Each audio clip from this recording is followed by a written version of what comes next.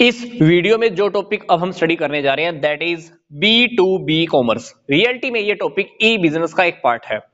अगर आप e business का कंप्लीट टॉपिक स्टडी करना चाहते हैं तो मैंने आपको इसी वीडियो के डिस्क्रिप्शन बॉक्स में एक लिंक दिया हुआ है, आप चाहें तो वो वीडियो देख सकते हैं।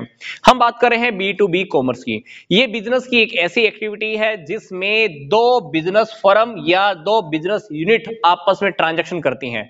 पर यह ट्रांजेक्शन होती कैसे है? इलेक्ट्रॉनिक फॉर्म में होती है। ये लोग इलेक्ट्रॉनिक ट्रांजेक्शन करते हैं। समझ लीजिए इंटरनेट के थ्रू, कंप्यूटर के थ्रू। तो इस ट्रांजेक्शन में क्या हो सकता है? काफ़ी सारी एक्टिविटीज़ हो सकती हैं। लाइक मान लो प्रोडक्ट की इंफॉर्मेशन लेनी है। इंक्वायरी करनी है तो कर सकते हैं।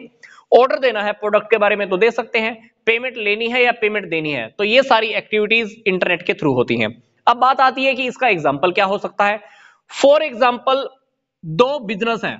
Business number one business number two ये बिज़नेस रॉ मटेरियल सप्लाई करता है। ये बिज़नेस क्या करता है? प्रोडक्शन एक्टिविटी करता है। अब इसको प्रोडक्शन करने के लिए काफ़ी जगह से कच्चा माल खरीदना पड़ता होगा।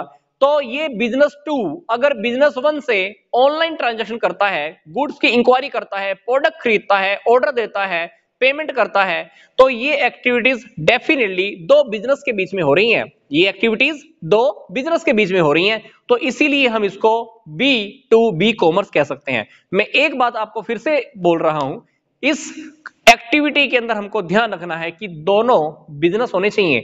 चाहे पहले वाला सप्लायर है, चाहे दूसरे वाला प्रोड्यूसर है तो दोनों ट्रांजेक्शन दो बिज़नेस के बीच में होनी चाहिए।